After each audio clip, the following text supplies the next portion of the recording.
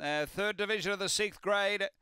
And we're just about ready. Light on. Best of luck putters. Last of the night at Angle Park Air Pumba. 2.30 the favourite. We're ready to go.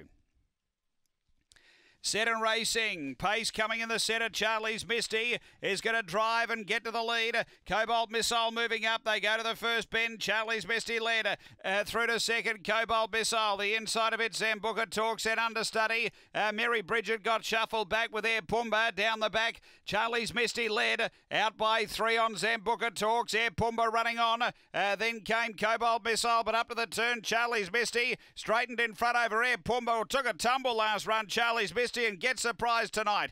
Uh, second Air Pumba, third home is uh, Sambuca Talks, and fourth between Charlie's Misty Cobalt Missile with Mary Bridget. The time here is 30 and 63.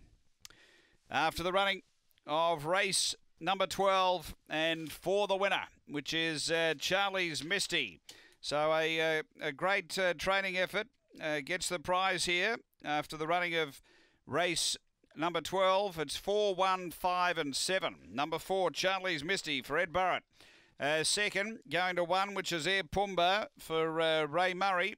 And third to 5, Sambuca Talks for Clint Trengove. It's 4, 1, 5, 7 after race number 12 uh, here at Angle Park.